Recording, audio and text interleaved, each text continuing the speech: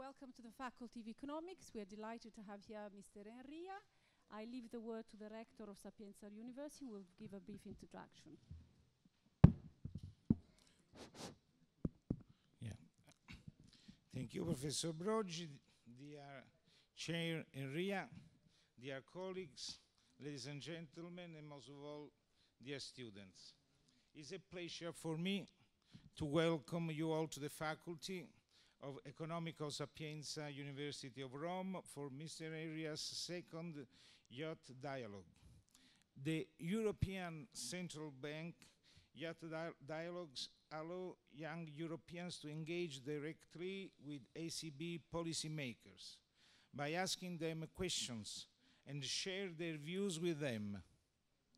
This evening, the students from Sapienza's Faculty of Economics will have the opportunity to do just this. So, I wish to thank very much Mr. Enria in the chair of the Supervisory Board, European Central Bank, that, as you all know, directly supervises 117 significant banking institutions in 19 countries, 12 of which are in Italy. Andrea Enria took over from Danièle Nouy, who came to Sapienza three years ago. At the beginning of 2019, after a long and exemplary career as a civil servant at various supervisory authorities in Italy and Europe. He previously chaired the European Banking Authority from its formation in uh, 2011 to 2018. And before that, he also served as head of the Supervisory Regulation and Policies Department of the Bank of Italy. So, dear Mr. Enria, thank you so much for your presence here today. Sapienza is uh, very pleased to have you here. And we are de- delighted to have uh, and are very thrilled to host this evening's youth dialogue. So, thank you, everybody, and thank you again, Ms. Enria, for your presence here. Thank you, and enjoy this very intriguing opportunity.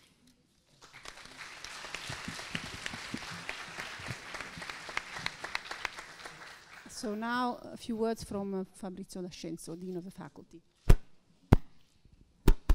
Good evening, everybody. Thanks for coming. It is a very important occasion for all of us, and especially for our students, to have Mr. Enria here with us.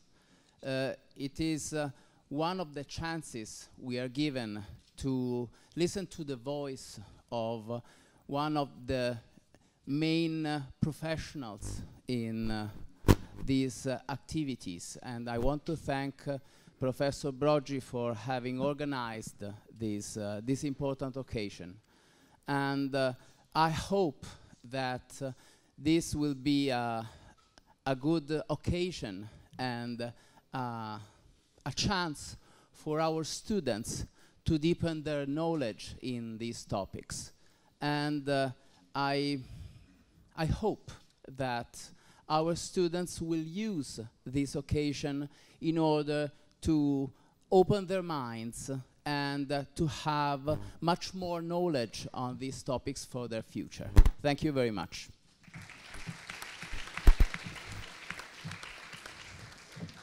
So th- thank you, Mr. Gaudio, Mr. D'Ascenzo, and welcome, Mr. Enria. Welcome also to all of you present today and everyone following the live stream. We are actually live streaming the website. Yes? Okay. Uh, sorry?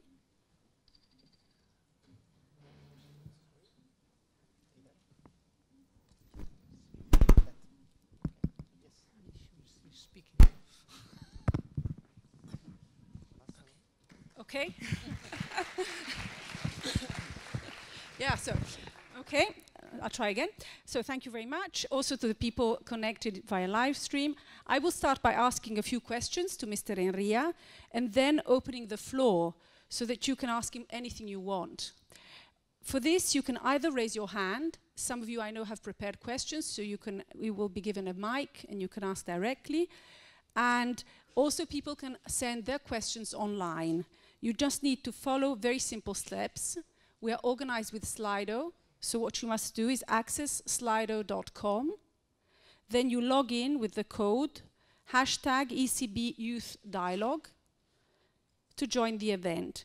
Then you can type your questions and press send. You can also have a look at the questions from other people and vote for the ones that you like the most. So the most voted questions are the ones which Mr. Enria will be answering first. Okay? We're going to have some questions directly from the floor here in Rome, and then some questions which can be actually sent online and voted. So, of course, the questions with the highest numbers of votes will be prioritized in the discussion all the online questions will be moderated, which means it might take some time before you see them on the screen behind me. Please consider the following instructions, however. Make sure your question has not already been asked. Send questions and not comments or statements, because the idea is to make the most of this evening by asking Mr. Enria real questions, so make the most of this opportunity. And needless to say, please avoid using inappropriate wording. Also, you are more than welcome to post about this event on your social media. You can use the hashtag, hashtag ECB Youth Dialogue, and also feel free to tag the ECB and the university on your social media posts. So that, I hope, is all clear. Go to Slido, access Slido, and you can actually start typing in the questions. Now I'm going to start with my questions. to Mr. Enria. And as some of you know, I am a professor of here at the Faculty of Economics. I teach international banking and capital markets. But one of my core competencies in the last few years has been corporate governance. And actually, bank corporate governance is one of the most regulated aspects in corporate governance. So my question is to Mr. Enria, how can governments, the role of the board, and also shareholders actually contribute to making a sounder financial system. Thank you, thank you very much. Well, thank you, Professor Gaudio, Professor D'Ascenzo, and Marina for inviting me here today. I mean, I really enjoy. That's the second time I do this youth dialogue, and uh, it's really something I, I, appreciate very much. So I look forward to your questions and to a very interactive uh, evening here. Uh, governance. Governance is, is, is you're right, uh, Marina, is a very important, uh, a very important issue um, for a number of reasons. I mean, in general, you, you don't find ever a bank that has gone, let's say, bad, that has experienced a crisis, a crisis which didn't have a serious problem in terms of governance. Uh, it, is good, it is easy to say what is going wrong when the governance is not working uh, as it should. It's less easy to identify what are the ingredients for a good governance. Uh, but I would say that uh, in, general we, we do have uh, a, a, number of criteria which have been developed uh, in, in the regulations, in our practices, and basically we start from very, very basic things. First you need people who, who, know the job. So you need experience, you need people who can devote time to the to the to the job they they they they, they, they commit to, to to to to do but this is also not enough i mean they they also need you also need a, a people who really are willing to challenge the management. I think that's the key point uh, to me. Uh, you need to have a real dialogue, you need checks and balances in the banks to make, uh, to make them healthy organizations. So you need also diversity. It's not only the quality of the individual members, it's also the quality of the board as a whole. So the, the, the diversity in, in a number of areas, diversity in terms of, uh, of experience, of background. For instance, you need increasingly people who, who know about uh, technologies in boards of banks. We have done an, an interesting analysis recently that shows that uh, banks that experienced uh, serious uh, cyber attacks or major lapses in, uh, in their own internal systems were also banks that didn't have, let's say, members in the board that knew about new technologies. You also need diversity in terms of gender, for instance. Uh, you need diversity in terms of uh, in terms of background. So that's an important uh, an important element as well. of course, for us uh, as supervisors, it's difficult, no, to to push on governance. Uh, if I look at what the ECB has done so far, we have been very effective on push, in pushing on capital, in pushing on liquidity, in pushing on asset quality and non-performing loans. If you look at the scores that we give the governance in our supervisory review and evaluation process, since we started, that's the only area where the scores have deteriorated, actually, instead of improving because that's an area where you don't have really very strong tools. You, you can try to convince, you can try to push, you, you write letters to the boards, but eventually, let's say, it's very difficult for us to say no to certain appointments. So the balance is mainly in the, in the hands of the shareholders, as you correctly say. They play a, a great role here, and as they are, are the ones that put their money at risk there, they should pay more attention to the governance, and they should be really more proactive in this area. Thank you. You mentioned the, the, the, the SREP cycle for this year. Um, I know it's just finished. Can you let us know how it went? Are you satisfied? How did it go? Well, we will have a presentation of our results for the for the SREP cycle uh, in uh, in January. Uh, so no real sneak preview here today. But uh, let's say what I can say, apart from the fact that several banks have already started announcing the the results. What I would say is that uh, consistently with what I already mentioned, let's say, uh, we see improvements no, in, the, in, the, in the capital position of the banks. I would say that now we are basically, this SREP is composed of four buckets. No? You have uh, uh, capital, liquidity, uh, governance, and business model. Capital and liquidity, I would say, are the two areas where, where we are the most satisfied. So there has been significant progress. The banks are in a good place. We ran a, a liquidity stress test uh, in, uh, and published the results in the, in the autumn this year, uh, which showed that the banks are in a good place also in terms of their liquidity, liquidity position, although we identify some issues that need to be followed up. The areas which are really uh, raising concerns on our side are, as I said, governance, and I won't come back on that, and business model. Business model sustainability. I mean, there are a number of banks which are really challenged in terms of their profitability. They're not generating profits for their shareholders. They have very high uh, cost to income ratios. Uh, they have uh, very poor market valuations, price to book values well below unity. And so this means that basically the markets don't perceive these banks as, as viable in the medium term. They are, they are destroying value basically. And in my view, that's, uh, that's something, of course, uh, as a supervisor, it's not our responsibility to pump up the profits of the banks. Uh, but if banks do not generate enough income, no, in, enough capital organically, and if they have very, very poor valuations that cannot go to the market to raise capital when this is needed, of course they could be more fragile, less able to withstand crisis. So we are also concerned about this issue of low profitability, viability of business models. And we see that the banks, we have done an interesting study a few years ago, which showed that the banks which are more profitable and which have uh, uh, been be better placed in terms of uh, uh, uh, business model are those which have refocused their business model, so they have uh, avoided to do, do, the whole, the full monty of banking activities, but they have focused on the things that they do best so they have, good, they've had a good uh, strategic steer. The banks which have uh, been most effective in uh, reducing costs, in achieving cost efficiency, and the banks which have invested more in new technologies. I mean, these three elements are the, the elements which have really driven the, the change in business models, but we, are still not in a good place for the system as a whole. What is your assessment of internal models uh, and the discretionality which is intrinsic to Pillar 2, which you mentioned SREP, I know it's related, but internal models are one of the differences between large banks and small banks, and so it's a key point.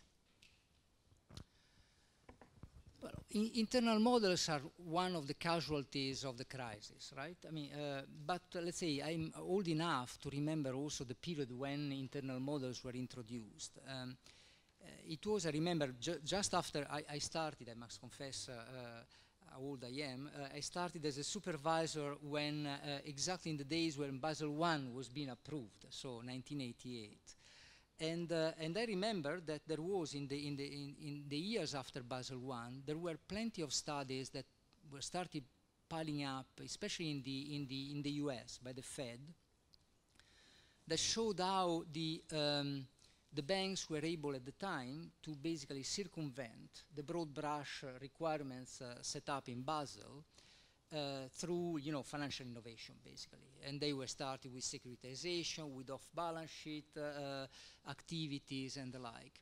So there was a, a, a, very strong frustration in the supervisory community that uh, whenever you try to put you know standards relatively rigid uh, one size fits all standards the banks uh, manage very easily to circumvent and it, and it we realized that it's very difficult for supervisors to really catch up with the speed with which and the, the, the inventiveness basically of, of, of, the, of the financial industry.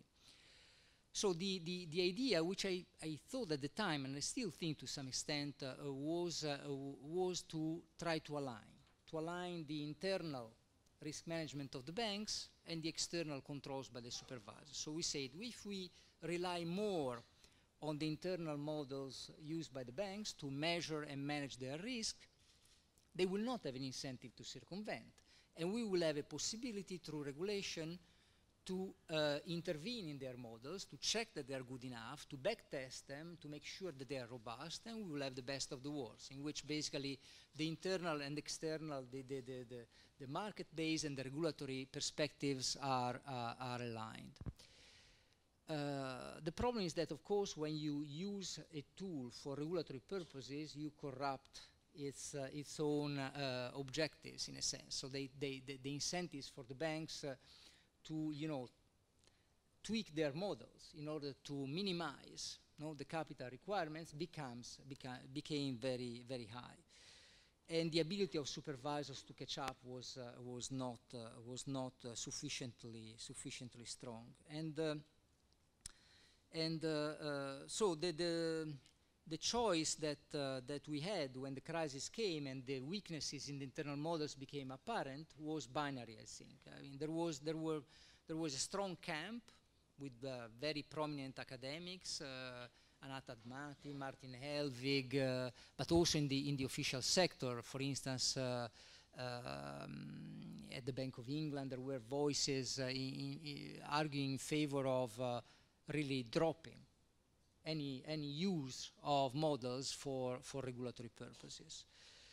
The other uh, camp, uh, which, uh, which eventually prevailed in the Basel discussion, was to try to repair the use of internal models, so to reduce significantly the scope of internal models and to try to constrain them more from the regulatory perspective, but still to maintain the risk sensitivity uh, that internal models had and that's where we landed with uh, with the Basel uh, with the Basel IV uh, well actually I shouldn't say that because in the the the the, the, the, the, the in, in the parlance of uh, of supervisors and central bankers there is no Basel IV there is only Basel the finalization of Basel III but anyway the last package which is now in the pipeline tries to deal with the issues that we identified in internal models a lot of work has been done uh, uh, by the European Banking Authority and by the European Central Bank.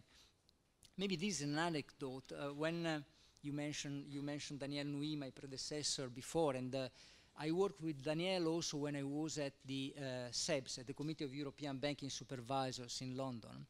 And when we were working together, we thought that uh, we should launch uh, joint inspections between of inspectors from different countries to uh, monitor and test the, the, the, models of the banks.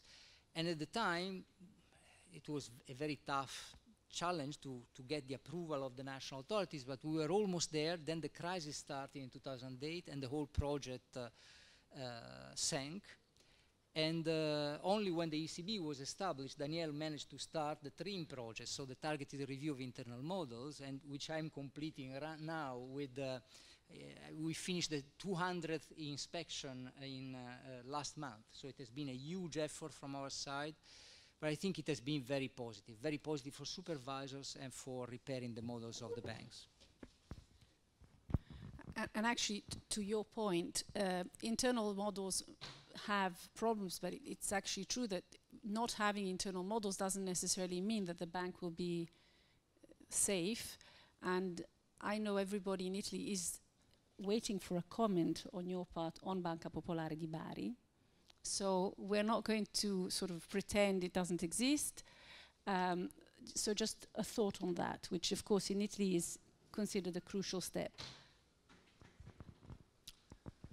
Well, uh, as you can imagine, I cannot comment on an individual case. Uh, by the way, uh, Popolare di Bari is, is what we call, with what I think is not a very good term, to be honest, a less significant institution. So we are not directly supervising uh, the bank, but of course we are uh, kept, uh, kept informed by, by, the, by the Bank of Italy on the, on the case. I would say that in general, in, in my experience since I joined the, the, the ECB supervision, um, I think that the, the, the key point is, uh, is uh, that we are not yet there in terms of the effectiveness and the functioning of the mechanism for dealing with crisis. I think that after the crisis there was a lot of work done at the international level to identify what are the, the key uh, uh, ingredients for having an efficient uh, management of crisis and prevention of crisis as well, of course. And, uh, and I think that uh, the consensus has been around uh, three basic uh, uh, elements. The first one is that you need to have uh, strong capital and to have some loss absorbing capacity. So other instruments that can absorb losses at banks so that you can have some ability of private investors to absorb the losses in, in a crisis. Uh, the second ingredient is early intervention. You need to be able to intervene early enough in a crisis.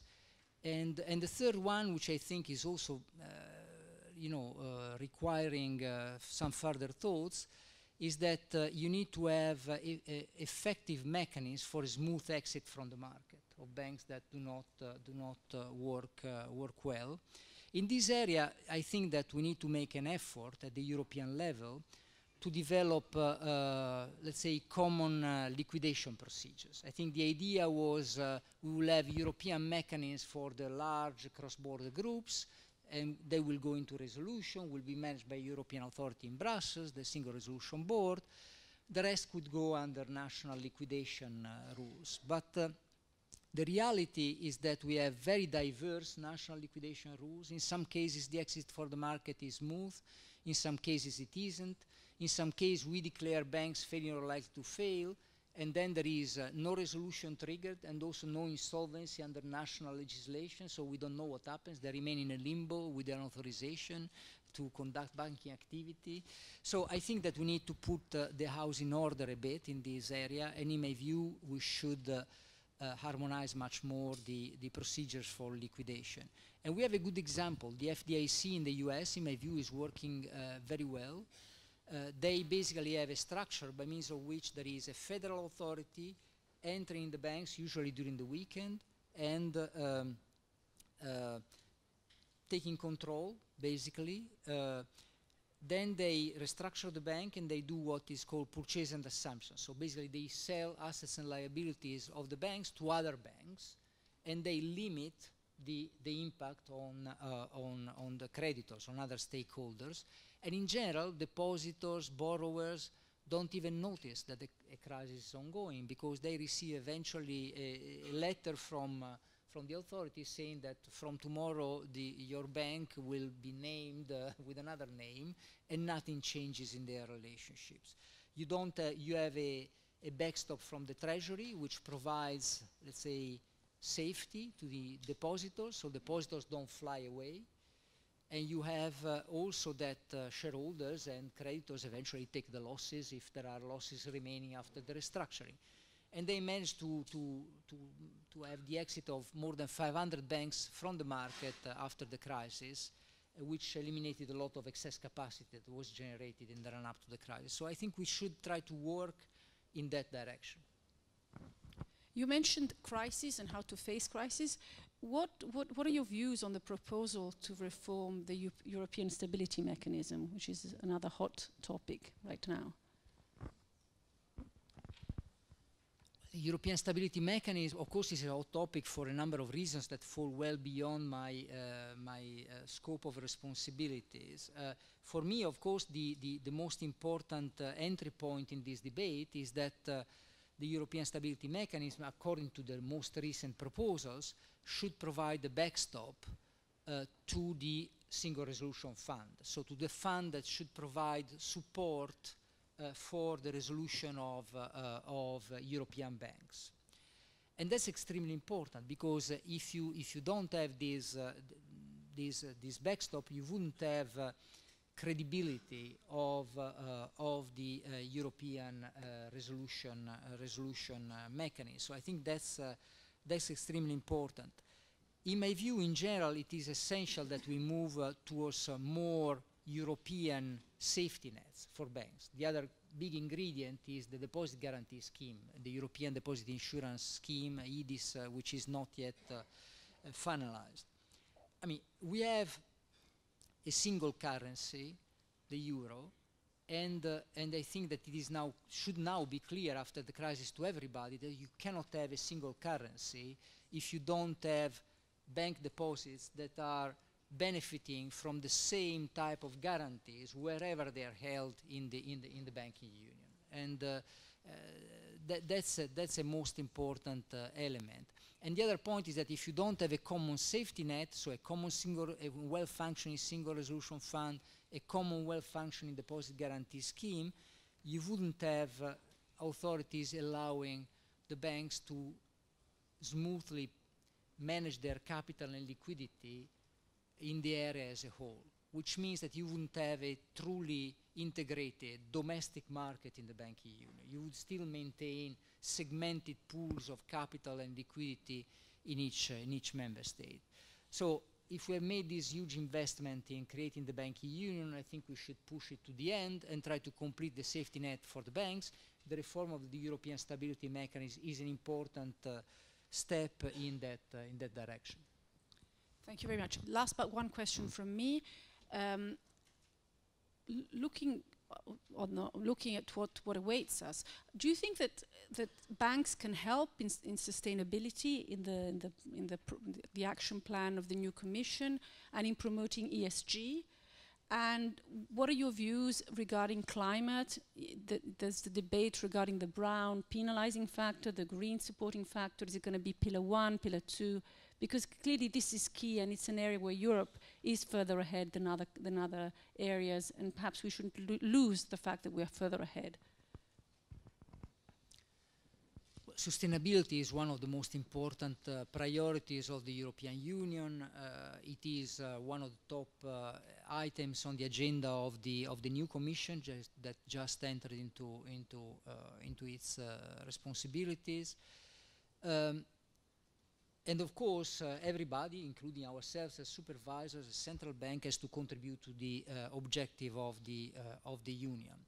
Now, from the supervisory perspective, I would say that uh, uh, there are a number of uh, areas in which I think we could provide an input in this process.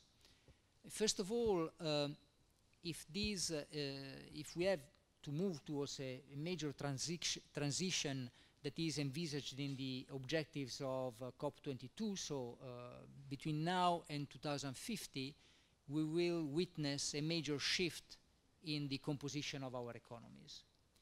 A major transition from some sectors that will lose relevance to other sectors that will increase in relevance.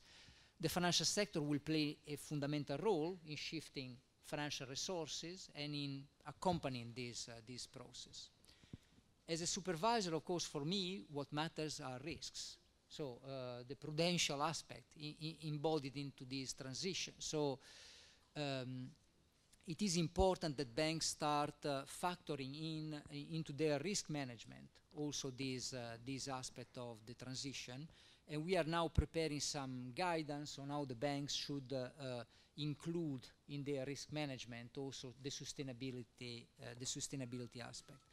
Another element which is not directly into, into my remit as, as ECB, uh, uh, but which, for instance, is very much uh, uh, under the attention of the European Banking Authority, which is, in my view, very important, is transparency. Transparency is uh, key, Now that we are developing a taxonomy, almost over, if I understand well, of what is green, what is brown, what is uh, in the middle, I think it would be important to push banks, financial institutions to disclose more and uh, uh, to allow market discipline also to play to play a role. I've seen that uh, some uh, uh, news agencies have published information on some banks being particularly exposed to brown sectors, and this immediately triggered a reaction from these banks announcing targets. So I think this could be a very important uh, disciplining element. Another area in which I think we could provide a contribution is stress testing. Uh, in a sense, uh, now banks tend to look at risks in a very short-term perspective. No? They, they, they, estimate their risk parameters, probabilities of default, loss given default, in general with one year, maximum three years uh, uh, time horizon. If you talk about transition, you are talking about much longer time frames. And a stress test can maybe try to help banks, to push banks, and maybe to push supervisors also to lengthen the, the horizon to uh, measure and manage risks. I'm less enthusiastic at the moment about green and brown supporting penalizing factors, not because I'm opposed, uh, let's say, by uh, ideology or, but because I think we don't have enough evidence. I mean, I think that uh, prudential requirements should be based on risks, and we don't have enough evidence that uh, a green investment is uh, less risky than, than, than a brown investment. It could be in a longer term, but uh, in, in the transition it could also be the opposite. So we need to be careful and, and gather sufficient evidence to decide how to move in that area. Okay, I'm going to ask the, the, last question, then I will take a question from uh, from um, the Slido, and then a series of questions from the floor. So that's one last question from me, one from Slido, and then from the floor. So, what career advice, this is on a more personal note, would you give to future bankers or supervisors, in particular, given the increasing importance of technological innovation in this field? So, what would, would be your personal advice to the students who are here, supposing they want to become supervisors? Well, let me do a little bit of a commercial for the profession because I think this is uh, this is uh, this is a job that uh, will not bring you a lot of, uh, um, let's say, a lot of, nobody will thank you. In general, when things go well, uh, it's very, very uh, seldom that somebody praises you for, for the job you perform. If something goes wrong, you are the first in the line also when you don't have uh, too many responsibilities in the case at hand. So it's not, uh, I mean, if you look at the, if you look at it objectively, the payoffs are not very balanced, are very skewed.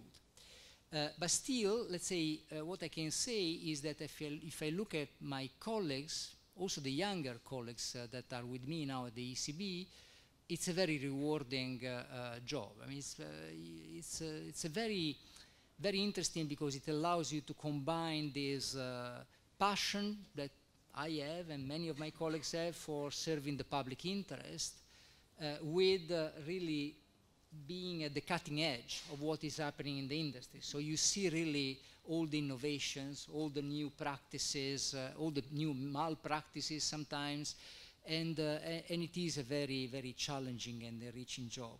You, you, mentioned technologies, and of course technologies are becoming more and more important. We, we do regularly collect from banks and from supervisors uh, their views on what are the top risks uh, facing banks and uh, in the last two years, uh, cyber risk, for instance, has become one of the top listed risks, both from the industry side and on the, on the supervisory side. but also IT risk more generally. I mean, there is plenty of outsourcing going on in the industry to companies, uh, sometimes in remote uh, jurisdictions. So, I mean, I think it's uh, really a challenging framework. And I must also say that sometimes when one think talk about talks about IT, you think about fancy new gadgets and the like, but sometimes it's really how to manage the core um, asset that banks have, which is information.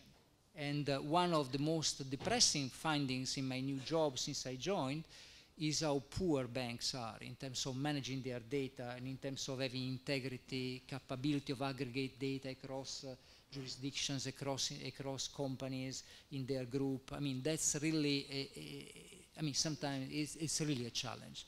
Uh, but anyway, I hope that uh, some of you in the, in the, in the, in the audience will consider this as a, as a good uh, commercial for the profession. But I would say that also for those of you that instead uh, uh, will choose to, to, to, you know, to follow a career in the, in the private sector in this area, I think it is important that, that uh, both sides share a strong uh, um, attachment to good culture and to really to the health sustainability of, of, of the business and that uh, let's say the, the excesses of the past uh, remain also on the on the new uh, young professionals as a, as a memory, although you have not experienced this firsthand. I mean, you have plenty of materials that I'm sure you have studied in, in Marina's courses or in other courses uh, uh, to, to make you well aware that uh, if you want to, repeat, to avoid repeating the errors of the past, uh, we need to build the industry on, on different premises. Thank you very much. So, people here in the room, uh, you can raise your hand so that you will receive a mic and ask a question. But I will start with the first question from, from Slido. So, Mr. Enria, what do you think about Bitcoin? What role do you see it playing in the context of the ECB? And if when Bitcoin gains even more popularity among the, new, the younger generations? So, what's your view on Bitcoins? Uh, the, the, EBA, when I was there, was one of the first authorities globally that issued a report on Bitcoin, trying to identify the risks and the and the and the benefits of these type of innovations. And uh, I would say that as a supervisor, let's say I, I, see first of all the benefits of the new technologies uh, that are underlying Bitcoins or other virtual currencies. So this distributed ledger technology, it's uh, something which uh, can also uh, have very interesting uh, uh, use. Um, let's say um, the, the I also see the point that uh, international payments sometimes especially are very are very remain although in the European Union in the euro area we have brought the cost back ba down basically to zero of cross-border transactions, but still, if you, if you have payments uh, internationally, they remain quite expensive. So I see also the benefits of having a sort of payments uh, instrument that can be deployed globally at very low cost.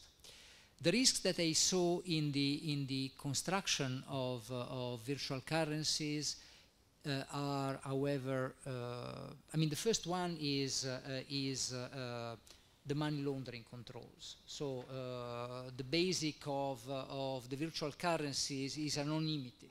No? So there is a check through a, a complex uh, technological ledger, but basically it preserves the anonymity of the transactions. And that is not good for the, uh, the anti-money laundering controls that are, are rule based on the identification of the beneficial owner. The other point is, uh, is um, investor protection. Uh, so uh, when I was at the EBA, we made a warning to consumers that basically if you put your money in these uh, in these currencies, you might lose it all. I would not even call them currencies. Actually, I would call them assets because that's what they are. You can lose all your money, and this happened. I mean, there have been several of these virtual currency exchanges that have been hacked and uh, the, the, the, amounts have been, uh, have been stolen. Uh, finally, the key point to me is uh, uh, how do you define the boundaries when these activities are banking or should be regulated and when they could remain in the unregulated world. That's a very difficult question. But to me, of course, if you start collecting something that could look like deposits, for me that is a red line. Deposits needs to be collected by banks. They enter into the money creation mechanism and they should be done only by uh, uh, regulated, uh, regulated institutions. Okay, so we're going to take some questions from, from the floor. Can, if we have the mic. Hmm. Okay.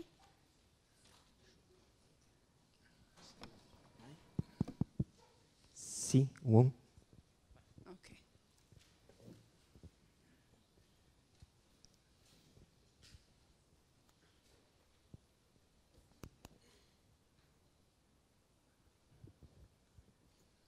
Evening. Um, I'm Riccardo Gampli, a first year student of the Master Degree in Financial Risk and Data Analysis. So, my question is Public opinion, especially in, Itag- in Italy, is critical about banking issues. To avoid the risk of further lowering in citizens' trust in the banking system, I would like to know whether information and educational policies regarding the introduction of neg- negative deposit rates are envisaged. Well, there are different elements in your questions. Uh, negative interest rates, uh, um, let's say, first of all, are, are designed by the, by the central bank, by the European Central Bank, uh, to deal with the, uh, with the, the issue of uh, uh, very low inflation, below target, and let's say in, of the problems in terms of the slow recovery after the crisis in the in the euro area in the euro area economy. Now, of course, this has a negative impact on the uh, margins in the in the European uh, in the European banks, but it has also a positive impact on the banks via the increase in uh, lending volumes and the fact that, of course, borrowers are more likely to pay back their, their loans because uh, uh, the interest rates are, of course, uh, uh, lower. Also, I would say that uh, the, the, the, the negative interest rates policy, the very low interest rate environment has favored the process by banks of, uh, um, of disposing of their non-performing loans, of cleaning their balance sheets, which is also important for the banks to perform their key function, which is lending to good, uh, let's say, uh, to good business opportunities and to, to households. Now, uh, in terms of information, I think that uh, uh, the, the ECB has done uh, extensive studies, has published a lot, is engaging in, in, in dialogue on these, on these issues, on the impact of negative interest rates, and so I think that there is a lot which, is, which is being done. And, uh, and I think the same should happen also on the supervisory side. Um, on the supervisory side, traditionally supervision is perceived as, uh, as uh, an activity which is bound by confidentiality. You, know? you enter into contact with very price sensitive information on individual banks, so supervisors traditionally do not like to talk a lot about uh, about their banks. So these type of events also are relatively new in the, in the profession, I must say. Uh, I think that now that, uh, that we, we, we have seen the impact of the crisis, that the uh, sensitivity of the general public to uh, banking policies, to banking supervision has increased. And also now that we have uh, legislation that entails that if there is a crisis, let's say the shareholders first, but also the private creditors should be responsible for taking the losses for the banks, as in any other sector of the economy, well, then you need to give more information, I think. And uh, we need to be more transparent, to publish more information, also on our assessment of the banks, and that's something that I'm putting high in my, in my objectives. Okay, so I'm going to change the, the etiquette a little bit. I would like to have the mic here. I would like the students who want to ask a question to come here with the mic, so it takes less time for us. So if Ricardo, you can take the mic here. The students who want to ask questions, you come down. I'm going to do a question from uh, Slido so that people have time to line up. You come down, start coming down, and so we make this more effective because this is a large room. It's going to take us ages to, to just get the mic to move. So uh, we have a question from Slido, Mr. Enria. What do you think the direct impact of Brexit would be on ECB and European Union economics? What if other members of the Union, like Italy, decide to quit from the euro?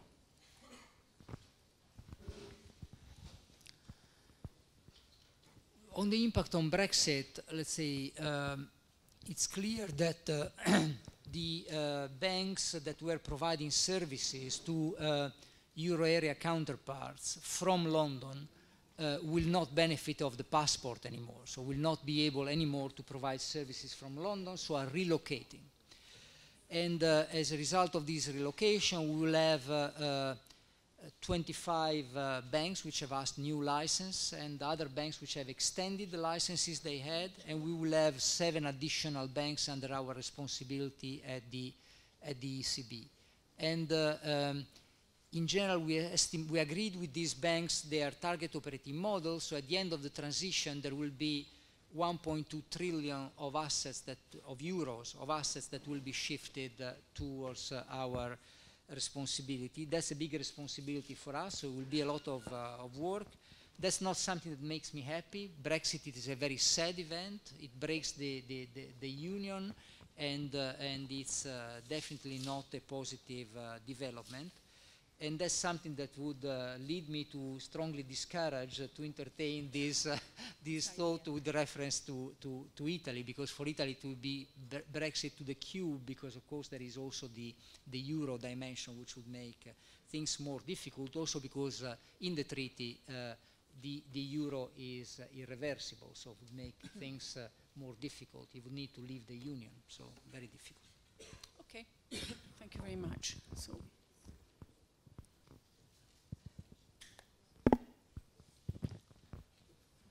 Good evening. does- Good evening, Mr. Enria. My name is Francesco Conti, second year student of the master's degree in international finance and risk management. My question is, banking regulation is becoming more stricter year after year. Which are the future trends on shadow banking regulation? Thank you. Thanks a lot. A very good question, I must say. Uh, the, the term shadow banking has entered a bit into uh, misuse now. It's not, uh, it's not uh, uh, very fashionable anymore, but I think that the point of, let's say, non-regulated institutions performing quasi-bank activities, it remains very, very relevant. Actually, you have seen a lot of growth in the, in the activities, in the financing activities of these type of entities. Now, does this mean that we need to regulate all of them? I don't think that, that if something is im- gets important, you need necessarily to regulate it, but you need to make sure that if you have uh, uh, really quasi-banking activities, uh, then you need to attract those under the responsibility of, uh, of regulation. I mean, uh, I don't think you should, uh, if something, let's say, is banking de facto, needs to be regulated as a bank. And if it is not a bank, but it is uh, increasing the risk to banks, because banks are exposed to this sector, we should monitor this more carefully. And unfortunately, today, we don't have enough information on that. Good evening, Mr. Enria. Uh, I'm Daniele Baraldi, second year student in International Finance and Risk Management. Thank you very much for this opportunity, first of all. My question is, what are, in your opinion, the most important action that Europe should take in order to reach a strong economic union? Well, for me, of course, I'm biased, so maybe I will not take the most, but the, the key point is that uh, the introduction of the euro has been a historical moment. And I think that we need uh, to make all the possible efforts to complete the construction. Complete the construction of the euro, of the banking union, especially of the banking union. The priority for me is uh, to have a fully fledged uh, uh, deposit guarantee scheme and to have uh, really greater harmonization and, and a smooth mechanism for, let's say, managing also banking crisis. We have seen how delicate this issue is for all the citizens in Europe. Thank you very much. Good evening, uh, Mr. Enria. My name is uh, Darius Karimi, and I'm actually enrolled in uh, international finance master degree.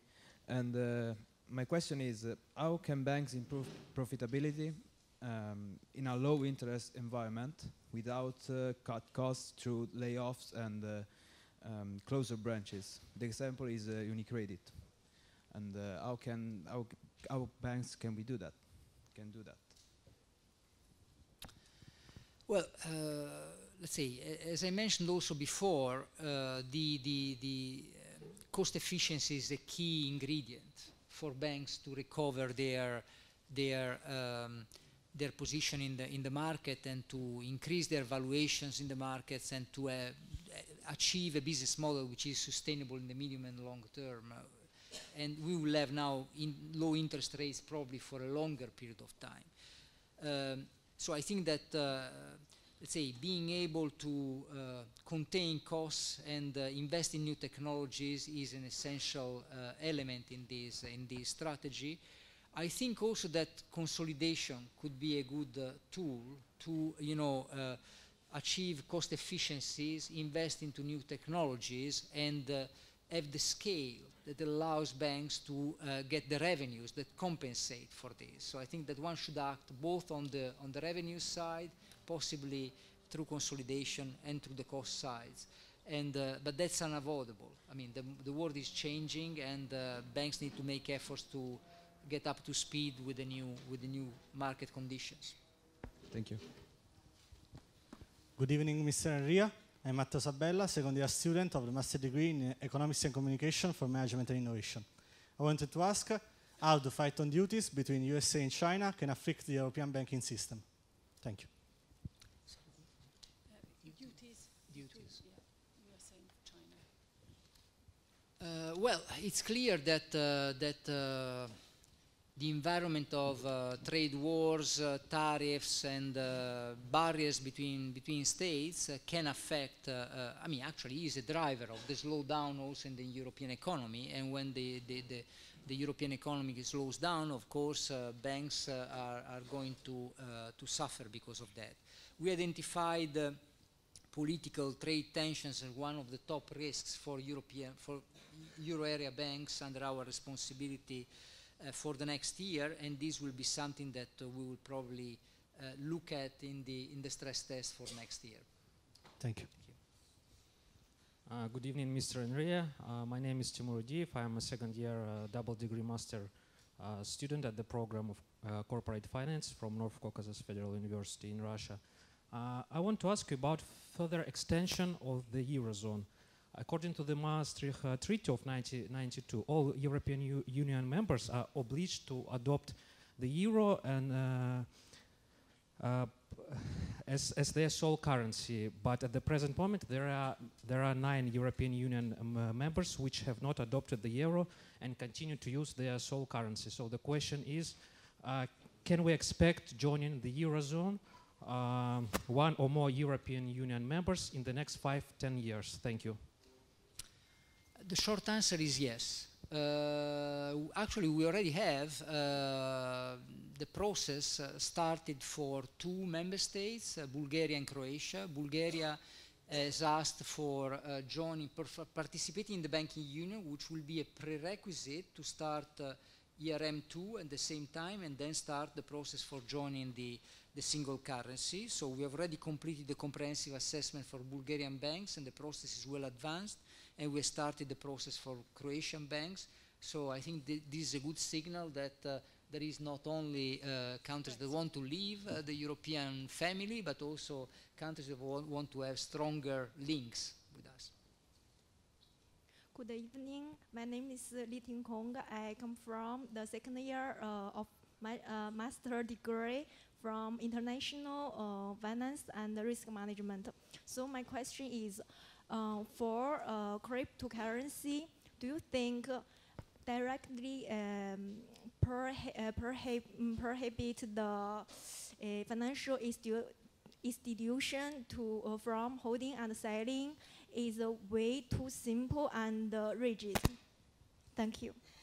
Just ban cryptocurrencies. Well, we actually, uh, as EBA, encouraged regulated institutions not to engage with the uh, buying and selling of, uh, of cryptocurrencies for the simple reason that eventually, uh, let's say, you, you would uh, lend some entry into the uh, pool of deposits, no, indirectly for, for this type of. So we wanted to keep the two sectors really separated. But uh, I realize that uh, this will be difficult. Uh, we know that already several banks have started engaging and lending to uh, currencies platforms. Some uh, cryptocurrency platforms have actually got a, a, an authorization as, pay, as payments institutions in some countries. So it's very difficult to actually uh, go to a strict separation. So I think that the Basel Committee has recently issued some criteria, some proposals on how to, uh, let's say, treat the risk of banks when they engage into uh, lending towards uh, cryptocurrencies. So that's probably the avenue now. Good evening. My name is uh, Francesca Manna, and me too. I'm uh, at the second year of the master degree in international uh, finance and risk management. You previously talked about the um, liquidation process of US. So can you add the other pros and cons of uh, the European supervisory process in respect of other countries such as US? Well, I mean, I don't think it's very polite, you know, to say say uh, in which areas we're better than the U.S. or the, and uh, honestly, I, I, don't think that's. Uh, I mean, we are. Uh, the, the, nice thing for the for the for the ECB supervision is that we are the new kid in the blocks, right? So, uh, what happens when you when you join uh, the, the the benefits of being a late comer is that you can build on the best practices out there. So, um, and we have built on the best practices within the European Union, within the euro area, but also we have built on the best practices from the from the US, uh, from uh, and from other from other uh, countries across the world. So I think that at the moment we have tried to distill uh, the, the, the, the, strength. The strength of our model, I think, is uh, is especially um, the focus on on-site examinations. I mean, that's, uh, that's something which I think is, uh, is, is very strong. And having built teams that, uh, um, that come from different national authorities, plus people, staff from the ECB, I think it's a great advantage because you, you bring very different uh, traditions, approaches, perspective, and then uh, you, are, you are much more, you know, you're much stronger in the way in which you can uh, uh, review the bank's uh, the bank's books. So I think the on-site is, in my view, one of the of the strongest element. The other aspect on which I think we are probably at the edge of the uh, of the supervisory profession is in the work we have been doing on internal models. No one else in the world has done so many reviews of internal models as the ECB. As I mentioned, 200 on-site inspections, and each of them going through also different models. So in that area, we have gained a lot of expertise, I would say. Thank you. If it's possible, I have another question. Uh, I would like to ask you, what do you believe about, if you believe in um, the accommodative European monetary policy and if it, uh, this kind of policy it's really working in increasing the, the bank's uh, profitability? Well, as you know, in the, in the ECB, by legislation, you have a strict separation principle between uh, supervision and monetary policy. It would be very inappropriate of me, but of course, let's say, being under uh, the same uh, roof, I, I, I, strongly support uh, the analysis, also because we have indeed a dialogue, I strongly support the stance that uh, I think that the, the ECB has put forward very strong arguments for the accommodative stance that has prevailed so far. Of course, on the banking sector, there are side effects. And I think the decisions taken in September that has recognized uh, the need to alleviate the burden in terms of uh, the uh, remuneration of the reserves at the central bank, so the tier, so-called tiering of reserves. I mean, that has recognized uh, uh, that uh, there are side effects that they need to be managed, but I think that that's the, the, right, the right policy. Thank you. Thank you.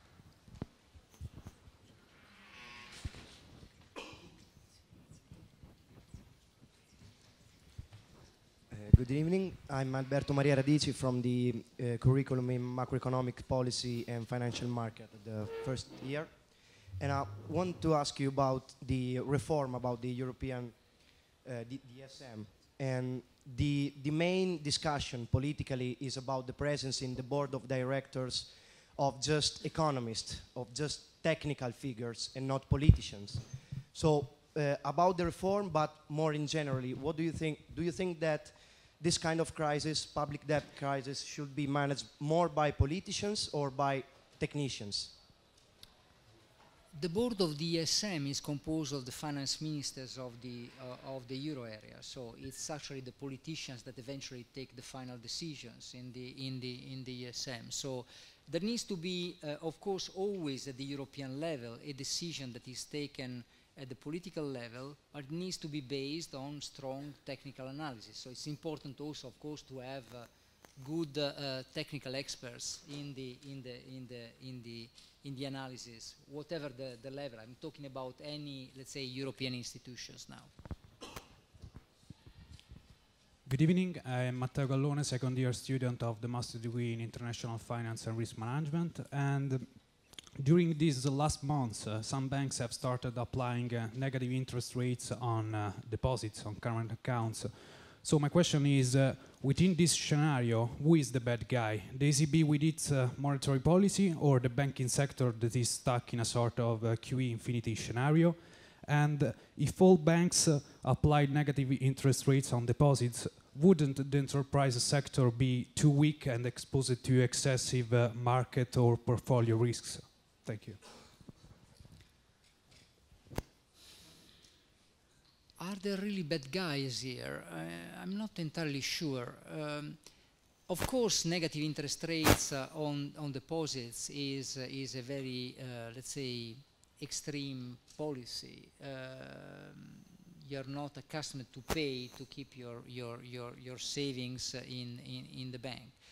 But of course, is is an extreme policy to try to uh, support uh, increased uh, increased spending. And uh, and again, I mean, eventually, uh, uh, it is the choice of the of the savers to decide where they want to allocate their their savings. And if deposits will become, of course, not convenient, they will have choices to invest in other in other types of assets. But anyway, I understand that uh, the application of negative interest rates to deposits is a very delicate, uh, very delicate issue, and not all banks uh, want to go into that territory.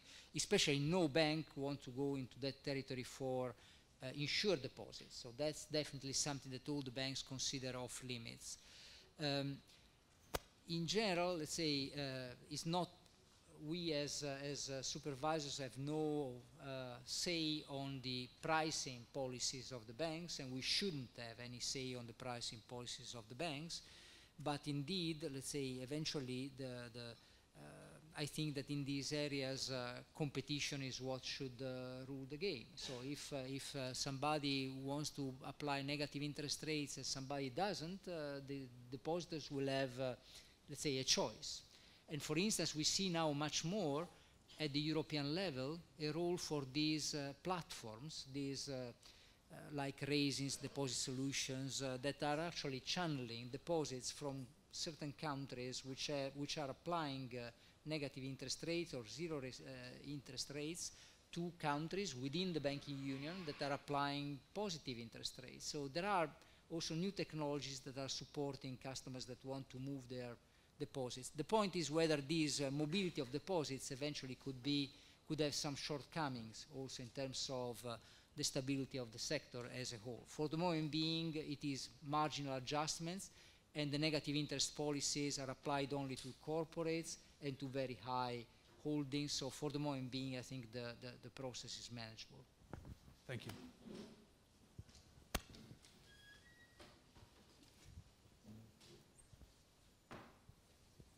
Good evening, Mr. Enria. Uh, I am Federica Avato, second uh, year student uh, of the master degree in financial intermediaries, international finance, and risk management. My question is, uh, what do you think uh, in, in, terms of uh, European supervision about the development of the market for financial conglomerates and the possibility for the ECB, ECB to make concessions for uh, M&A between banks? Thank you. Well, on financial conglomerates, let's say we are responsible for financial conglomerates. There are many uh, across Europe, and uh, um, during the crisis, financial conglomerates have not uh, performed very well, to be honest. And the market is sometimes uh, uh, skeptical about the effectiveness. But there have been interesting synergies, and some of these conglomerates, to be honest, have been rather profitable uh, lately. So we need to actually um, uh, look uh, carefully into financial conglomerates and the types of risks that they that they raise, no? especially the distribution, the use of the bank distribution channel for uh, insurance products and uh, and uh, and the cross-subsidization that can happen between the different business lines, and also the, um, the, the, possible infra-conglomerates, infra-group, uh, uh, let's say, exposures that can be, uh, that can be, and how you measure the, the, the, capital of the conglomerates as a whole. So there are a number of areas which require some, some attention from uh, from our side. So that's uh, definitely an, an, important aspect. The second point you mentioned was uh, M&A. On M&As, again, if I look at the banking sector where it is right now, there is still a lot of excess capacity. The, the excess, if you look at any crisis in any sector, the automobile sector, the, the steel sector, after the crisis you had a mop-up of excess capacity via consolidation. And this has not happened that much in the European banking sector. You have had it in the US banking sector, but not as much in the European banking sector. And uh, if you need to invest in new technologies, and uh, I, I, think that some consolidation will probably need to happen. Of course, we as supervisors, when we look at a, at a merger project, we look at the viability of the business plan and whether the bank will be able to respect all the minimum requirements throughout the process. There was until recently a perception that uh, we as supervisors are actually uh, preventing mergers from happening, so I'm trying to dispel this, uh, this assumption that we are against merger, we are not, but of course uh, in order to be approved they need to be sound and, uh, and, and, and have a, a strong business project. Thank you. I'm going to take a question from Slido, which is, is I'm going to read. So, Mr. Enria, which are the past, present, and perhaps future most challenging issues in banking that you experienced? So, past and present you have experienced and things you envisage for the future. Well, in the past, I would say without any doubt, uh, I remember I started at the EBA in 2011, we started the stress test uh, beginning of March. 10th of April, Greece started uh, the sovereign debt crisis, and it had uh, private sector involvement in July, when, uh, one week after we published the results of the stress test. That was a, a period that I would not, let's say, leave again if I, if I, if I can. Um, present, I would say that the issues we were mentioning uh, before are the most important ones. Uh, so the, the, really the, the, the, challenge now for me is uh, really the low profitability in the banking sector uh, and uh, uh, the need for restructuring. How to drive the sector towards more restructuring to become, the, again, positive in the view of investors, able to attract investments, capital, and, uh, uh, and uh, become viable in the, in, the, in the longer term. And future, well, future challenge, I think at the moment, I think still digitalization ranks high. Of course, sustainability is also another important challenge. So the two challenges are, are both very high, but I would say that the moment, uh, uh, the one which is uh, going to challenge both banks and supervisors most in the next two, three years, I would say, is digitalization. Good evening. My name is Andrea Franco. I'm a second year student of uh, International Finance and Risk Management uh, master degrees. Uh, my question is, um, what is, uh, in your opinion, uh, the solution for the banking uh, market segmentation in Italy? Thank you. Well, we have First of all, let me say that uh, uh, the, the, the Italian, Austrian, and German banking sector have been traditionally the ones which have had the, the, the widest uh, range of uh, very small institutions, often uh, uh, cooperatives, sometimes savings banks. That's not in itself a, a, a bad thing. I mean, it's, it's, an element of strength of the, of, the, of the European banking sector having an ecosystem that uh, has a number of different uh, players. But of course, in times of uh, difficulties uh, uh, and low profitability, um, there could be challenges uh, specifically on these business models. And I think that the steps which have been taken in Italy and in other member states to integrate more this sector through initiatives that have created a sort of uh, sector-wide merger or light merger, like uh, I mean, in, in, in, France, the, the Crédit Agricole Group or Rabobank in the in, in the Netherlands, Raiffeisen in uh, in uh, in um, in Austria, the the Volksbanken Group in in, in, in Germany, and now also the the two new groups of banche di credito cooperativo, so uh, ICCREA, Cassa Centrale Banca. I mean, these are interesting examples of how to benefit, benefit from integration and uh, consolidation, while at the same time maintaining also some aspects of uh, local, you know, expertise and local knowledge. So I think that that process is uh, is very is very interesting and uh, and that's the way in which you can also move towards uh, uh, less fragmentation. Fragmentation is also, unfortunately, now an element uh, that is associated with the flag. No? So you have a lot of segmentation of markets uh, between countries, and that's something which, in my view, is also, I mean, for me, is one of the big, biggest priorities. I mean, how to foster really the development of the banking union into a truly unified domestic market for banks and that's uh, that's still uh, still a challenge. I mean, I might speak for talk for hours on that, but I will leave it here. Thank you very much. Thank you.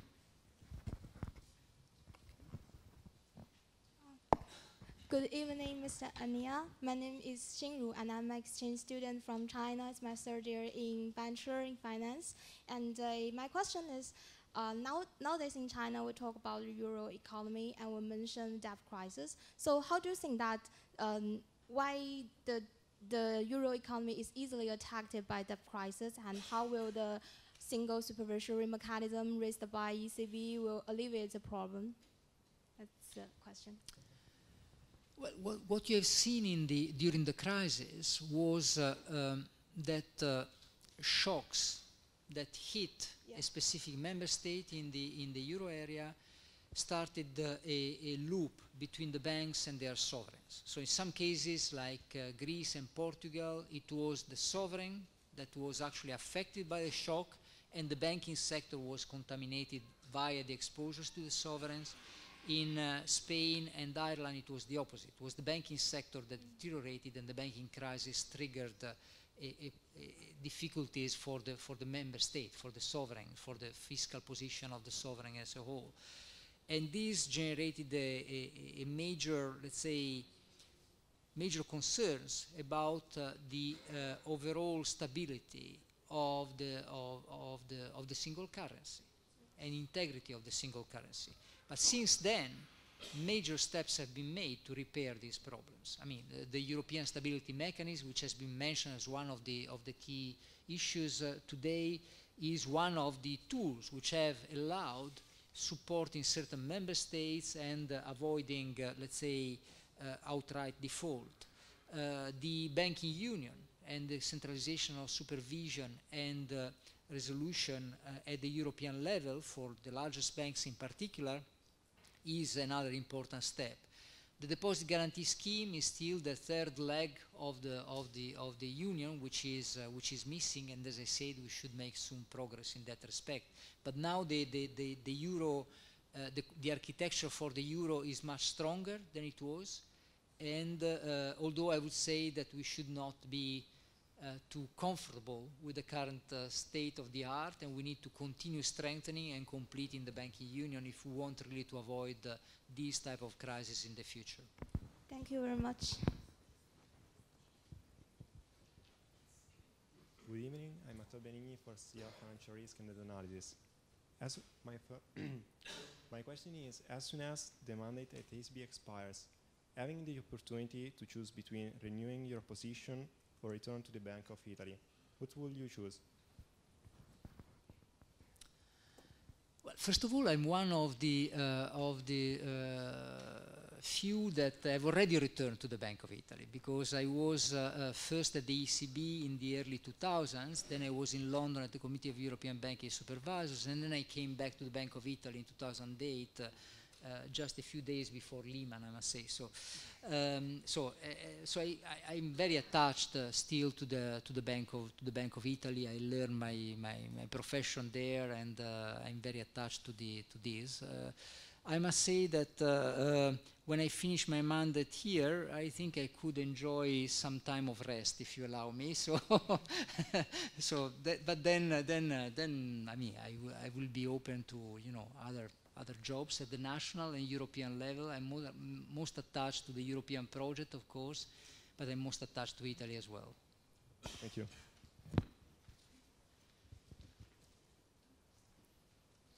Good evening, Mr. Enria. I'm Emanuele Bersani, first year student from uh, the master degree uh, in data analysis.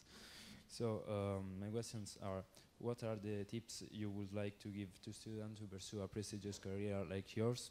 And in addition, how did you imagine it would be uh, work within the European Central Bank's supervisory board? And how would you rate your work from um, January 1st, 2019 uh, to today?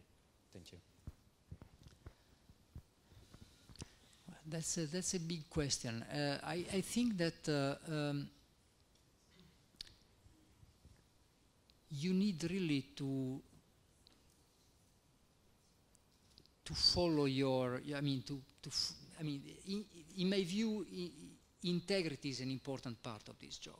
You need really to sometimes also take responsibility, take risk when you see something that is uh, not going the right direction you need sometimes to uh, take also risk uh, in an organization to really go up in your career. You need to be really yourself. Uh, you, sometimes when you when you start as a, as a, as a young person in, in, in, a career, you tend to conform. No? You tend to see what the others around you do, and you tend to try to you know move uh, with the wave. I would strongly invite you to uh, make up your own minds on things and speak up always. And this usually in the long term pays. I mean you can have also some moments in which this doesn't pay but in the long term i can tell you this uh, in, uh, in, uh, in this pays. And if it doesn't pay maybe the job is not worth for you. Um, in terms of uh, um, the, the job uh, and the job at the ECB, I mean, it is, uh, it is most rewarding. First of all, because I must say that it is uh, an extraordinary uh, work environment, uh, very young. ECB supervision is very young, much younger than the rest of the ECB, much more diverse, also in terms of gender and and uh, and uh, and origins, and and you have a lot. I mean, th there is this vibe still of the startup. The startups. I like startups. I've done the ECB Mark I in 99, I've done CEBS, I've done the EBA, and I've done uh, the ECB supervision a few years later, but still a startup. Uh, startups are very nice because you really write on a, on a white sheet of paper. No, you don't have the burden of tradition, of the past, of doing things uh, as they were always done, so you can really uh, write things from new, and that's really exciting. And, uh, and uh, and, and, and again, the, the, people is very passionate about uh, the job. Of course, I don't want to sell this as the best. I mean, it is a bit heavy, I can tell you. Uh, for me, for sure, it's uh, uh it's, uh, it's, it's a very heavy job. And if you feel the responsibility for what you do, you don't sleep always uh, very nice, very, very, very well at night. but it's it's a very rewarding job. Good evening, Mr. Enria. My name is Andrea Riverso and I work in the fund sector of a data provider. Uh, in my job, uh, I analyze uh, key investor information documents and sometimes there are funds which have uh, the score ESG even if the issuer is not an ESG company. So my question is, uh, can, as a president of um, Vigilance Council for BAC, ACB, can we consider a fund's ESG even if uh, the issuer is not an ESG company? Or it is necessary uh, that uh, the fund and the issuer are both ESG? Thank you. As you know, I'm not in the fund industry, so I will not go into the, the details of this, but let's say that we need to, to develop jointly clear criteria. I mean, because it's clear that now that sustainability is becoming such a big issue, there will be a tendency to uh, wrap everything as ESG, sustainable and the like. We need to be to have clear criteria on what qualifies and what doesn't qualify. I think the first important step was to develop a common taxonomy, and that's what I, I understand the Council and Parliament should have agreed in the recent days, so I hope that this uh, step is almost completed. Once this step is, is done, we should have the supervisors in all the sectors, in banking, in, in insurance, in the, in the asset management industry, to develop clear criteria, to have more disclosure, and to avoid, uh, let's say, greenwashing type of, uh, uh of practices uh, prevailing in the market. Thank you. I'll take a couple of questions from Slido. Um, so, what is your biggest motivator in your day to day job? So, you talked about integrity, but then what wakes you up when, you, so you, you, when you're not awake at night, which we heard is one part of the job, uh, when you get up, so what is your motivator? What drives you?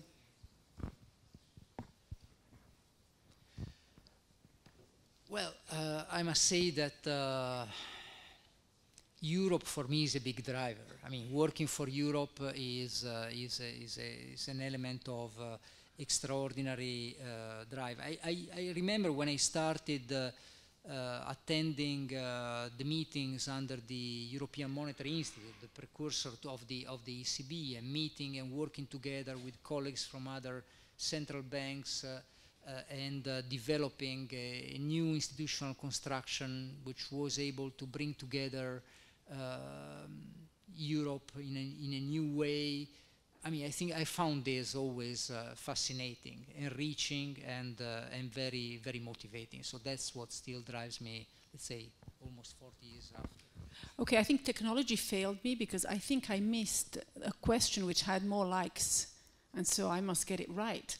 So, what do you think about the Deutsche Bank situation, which had 17 likes, whether, whereas your day-to-day -day motivator only 16? So check on the maths. Yeah